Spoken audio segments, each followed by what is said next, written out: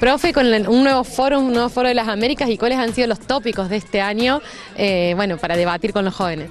¿Cómo te va, Sole? Mira, los tópicos este año fueron brecha salarial y desiguales condiciones laborales según género, eh, así que bueno, hoy estamos justamente trabajando eso, votaron eso los chicos y mañana vamos a discutir sobre economías regionales versus economías globales, pero no entendidas desde las economías propias de cada uno de los países, sino desde la Asociación de Bloques Regionales y cómo en estos últimos tiempos la coyuntura internacional está rompiendo las estructuras micro para dar una, mirada, una apertura a nuevos...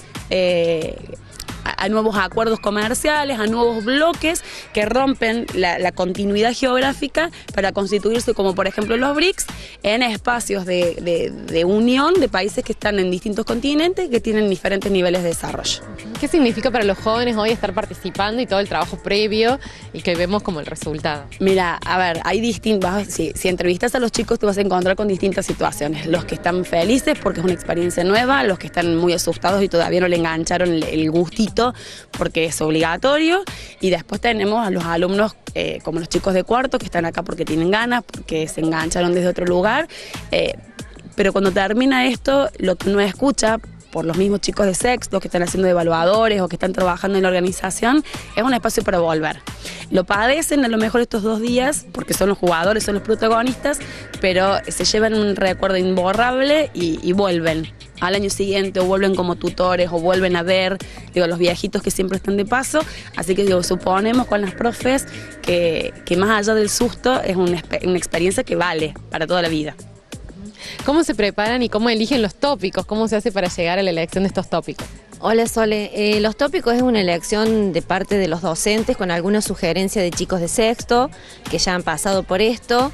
Eh, lo, charlamos entre nosotros y vemos la posibilidad de que se cree un espacio de debate y de discusión. Hay tópicos que tienen, eh, que se prestan más para esto y otros no, así que sale más o menos de principio de año que empezamos a charlar el tema, ya para mediados de año está el tópico decidido y, bueno, los vamos orientando en la búsqueda de información para que los chicos vayan haciendo ellos una creación de de todo lo que tienen que después volcar en este espacio. ¿Qué cursos están participando y en total cuántos alumnos hay hoy y mañana?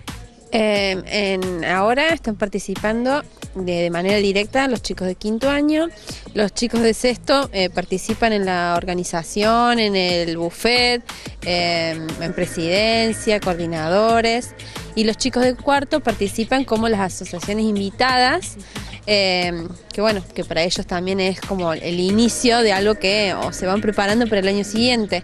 Bueno, ¿cómo es la experiencia de las alumnas representando instituciones? En este caso, ¿representan a quién?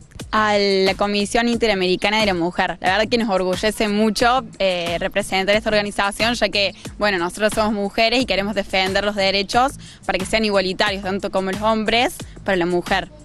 ¿Cómo fue la preparación a este foro y para llegar a, exponer y a poder eh, dar el discurso que a ustedes les correspondía?